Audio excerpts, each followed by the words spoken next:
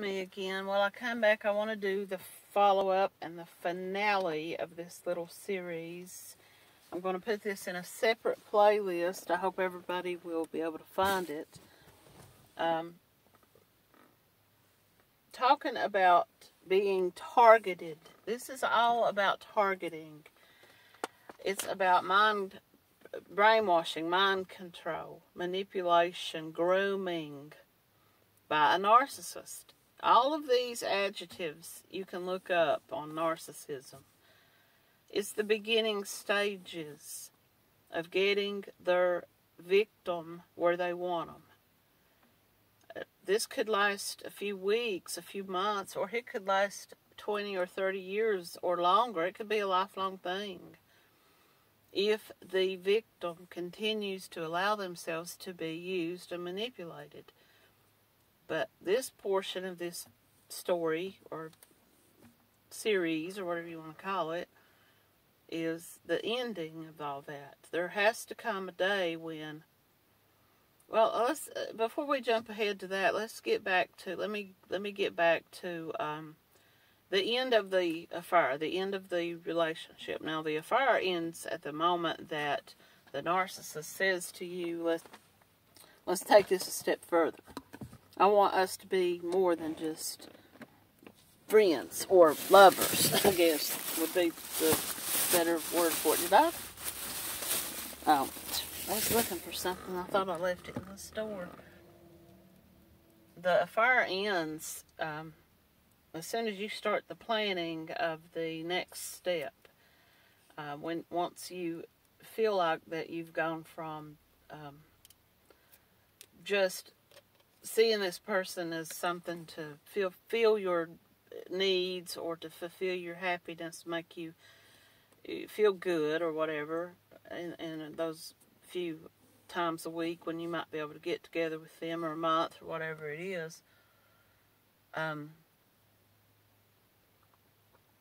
once it jumps ahead to um,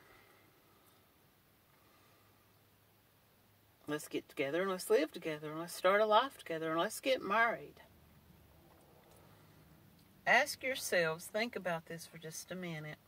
How many people have you known that have been in an extramarital affair with someone and ended up leaving their spouse and marrying that person?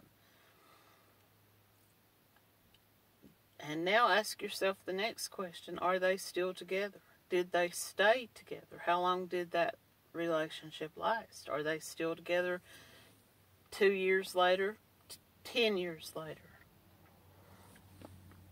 I've talked about this quite a bit, and I hate to keep harping on my own story, but it's my experience to speak about this from. When things came to an end between me and my ex, and we had, you know, I, I talked about this very recently that he had started hoovering me again. Um, the last time he ever hoovered me, and I finally just told him I don't want to talk to you anymore. I don't have anything to talk to you about. And it was only probably like six weeks or so later that I found out that he had got married.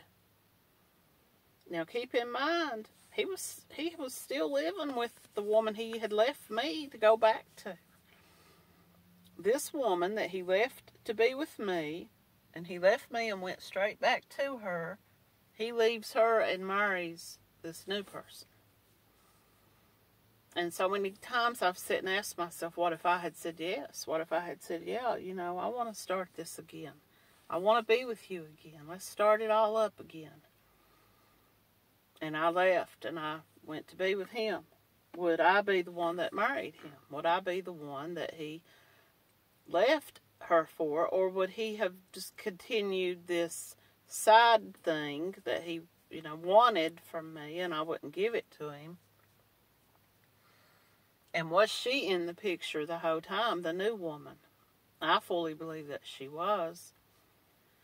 And so, curiosity, which we all know kills the cat, but also we're told as victims, and in the healing process, you're told to cut all ties with the narcissist and go no contact. And that means blocking everything on social media about them, so you don't know what they're doing. But that's easier said than it is done because you want to know what is it about her or what is it about this new guy in in the narcissist's life, this new person that I didn't have or that um, what is it about them, you know, that that finally got the narcissist hooked. And the truth of the matter is, is they they were no different than you. They were just more willing. They were just easier. I believe this woman that he married was grade A supply because she was divorced. And now I don't know if that had anything to do with their their situation. But she was divorced somewhat recently, probably two less than a year from the time that she married this guy, maybe a year and a half. Um, she owned her own home. She had a good job. Her children were almost grown. They were older, like teenagers, but like toward the end of high school years and going into college years. And his was as well. So it, he's probably leading her to feel like, well, you know, the kids are going to soon be uh, on their own lives and living their own lives, and we're going to be both be alone. So why don't we be together and just start a new life? That's probably the angle that he used, you know. I fully believe that she was seeing him long before she married him because what I was told by flying monkeys who were beneficial to me at that time um, was that he had not been out of the home. Uh, got some kind of a bug. He was not out of the home more than a day or two. He he. Here's the situation that I was told. The woman he was living with came home from work, and he was gone, and all of his things were gone.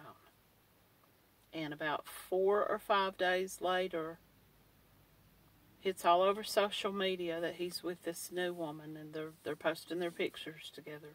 They're in each other's arms. They're kissing. They're going on a vacation together. They're um, and as as much as I'm sitting there looking at it and thinking, "Oh my gosh, it was just a few weeks ago he was texting me." And where did this come from? Where did this woman come from? Who, you know, where's she been hiding? Can you imagine what that woman must have been thinking when she comes home from work? And she, she couldn't have been too shocked and surprised because it wasn't the first time that he had walked off and left her. You know, he done it when he took up with me and he done it when he, before me, and I didn't know about those times. But I found out about them later. But he they're already divorced. It didn't even last two full years, probably not even that long. And they're already divorced. So that tells you what happens when you go into this relationship with a narcissist thinking it's love and it's desire and it's uh, it's your future and it's your your uh, soulmate partner for life. I'm gonna start my car up, turn my air conditioner on. And it's not. And at some point you have to realize that it's not. And you realize you've been manipulated and tricked and you're left standing there holding the bag. And and like I said before, everybody's looking at you and and your kids, you, you may you may have had like your children may have sided with the other parent and said, I don't want anything to do with this person. Or, in this case, this other woman, the kids seem to really have taken to him and, and they really seem to spend time together. And then all of a sudden he's gone. And the kids, you know, are left feeling like he's out of their lives as well, you know so so many people get hurt and so many people end up having their lives altered and their routines altered because of this decision to do this but what I'm trying to explain to people and I know people are going to say it's just an excuse it's a cop out it's it's a, a easy way to explain an affair, but it's really not. And um, the the person who is a victim of a narcissist never seen it coming. You can blame them, you can point fingers at them, you can call them the bad guy, you can um, just like this woman that he married. I had I had these harsh feelings toward her for a long time, uh, of jealousy in a way, I guess, even though I wasn't wanting to be with him, but I felt like um, I felt inferior, you know. I felt like, well, what did she have that I didn't have? Why was it that he couldn't have worked it out and stuck it out with me? He walked off and left this woman. Uh, and married this new woman. Why couldn't he have done that? You know, they weren't married. Why couldn't he have done that with me? But he did. He went back. And I know now the reason. It's because he was a greedy piece of crap, a liar and a cheater and a manipulator, and uh, he wanted his cake and eat it too. At the time that the two of us were together, his child was still very much underage, and he would have been uh, responsible for child support and things of that nature. And this is what the the the other woman, the mother of his child, had told him. I'm coming after what I should get. And he didn't want to give anything up. He was so used to manipulating her and keeping her under control that he didn't realize that now that he's not with her and he's with someone else, that she's not going to continue allowing him to, to control her.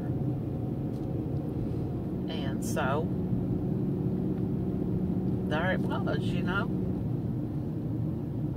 So, for myself, what happened was after it all came to an end, and I finally was out of, and I'm not talking about the hoovering stages, I'm talking about the, the end of the relationship. When I had moved out of his home, moved back into my family's home, and I was at rock bottom in my life, not only financially, but emotionally, socially. People had turned their backs on me. I had been called every kind of name under the sun. I had been uh, violently uh, threatened I had been attacked, had my property attacked, attempted the destruction of my property. Um, I was sick as a dog. My immune system was all but gone because I was so weak from stress and my high blood pressure and just, you know, no sleep and worrying. And it was just like I was scraping rock bottom. I was less than rock bottom and I had nobody to turn to. The one person who I could always turn to, who had always been there, my rock and my solid, was the one person that I chose to um, walk away from to be with this narcissist. Now, I don't want people to get the idea that I was married to this man or anything because I wasn't married to him. And we were not living together at the time that I started this relationship with the narcissist. But I could easily have gone back at any time. And um, I chose not to because I believe the lies of the narcissist. My brain was washed. I was washed, washed. and I was manipulated and I was led to believe that I was starting off on this new journey and this new life, and I was going to travel, and life was just going to be so great. And of course, it wasn't. It was all a veil. It was a it was a smoke and mirrors. And the narcissist walks right straight back into the home with the, this other woman, moves right back, moves her right back in I mean, my my perfume, my body wash, my hairspray was probably still hanging in the air, you know, when she moved back in. And I left behind a lot of my property. And um, But that's the destruction fallout of a relationship with a narcissist. And they're left, they don't have pieces to pick up. Even if his ex would not have came back and moved back in with him, he didn't have any pieces to pick up. He had a really good job. He, he made really good money.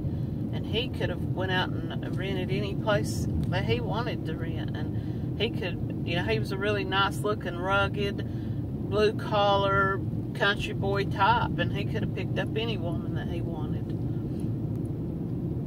And he would, and he probably is out there right now with someone's wife or ex wife at this point, you know. But that's kind of where I guess I will leave this and just say that it's been years now and I've moved on. I mean, I, I won't say I've moved on. There are moments when I still think about him and I wonder what he's up to, what he's doing, who he's with, and, and things of that nature, like you do with any relationship. But I don't look for him anymore. I don't wonder if I'll run into him again. I don't. Um, he's moved from my area, thank God. And his ex has gotten on with her life, and the other ex, I guess, is starting to pick up the pieces of her shattered life. And I've picked up the pieces of mine and trying to move on with it. But uh, when I talk about it now, it's in, in a way to kind of educate other people and to kind of bring awareness about it. But just like with any other scammer or manipulator or con, con artist, you can't convince the victim otherwise while they're in it.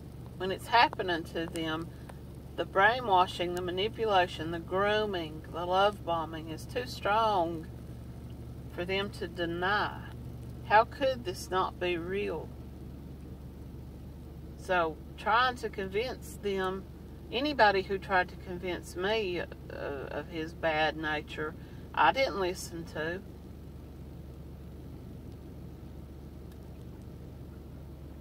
And I'm not saying that infidelity is okay and that people should give these people a pass or look, uh, turn a blind eye to it.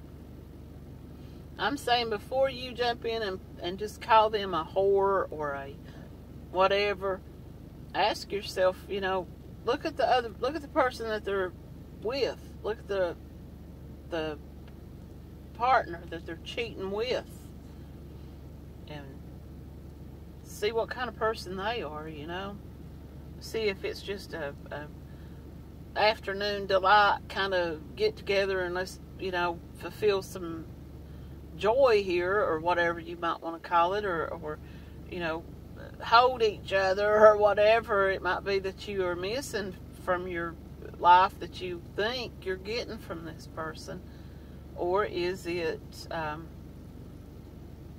manipulation and mind control and being lured and targeted deliberately to bring you down. Your relationships with your family and friends, you may get them back, but they may never be the same again.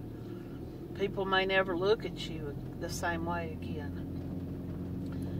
And so, you know, you don't realize you just don't realize what lengths a narcissist goes to. To imagine that someone right now might see you walking down the street and plan a deliberate, deliberately target you and plan something to destroy your life or to make or destroy the people around you or destroy your spouse or partner deliberately for no other reason than that they just want to. They don't love you and they don't want a relationship with you. They don't even desire your body. They just want to take because they can. They want to see if they can. And once they realize that they can, then they go all in. They go all in until you're destroyed. So, thanks for listening.